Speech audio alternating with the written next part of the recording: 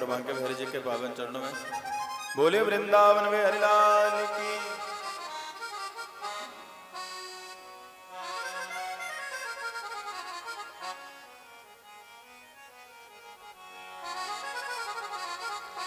हो सारी दुनिया में चाहे शो।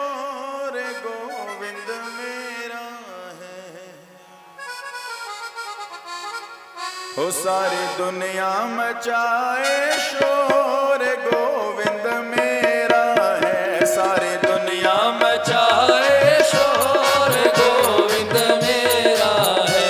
सारी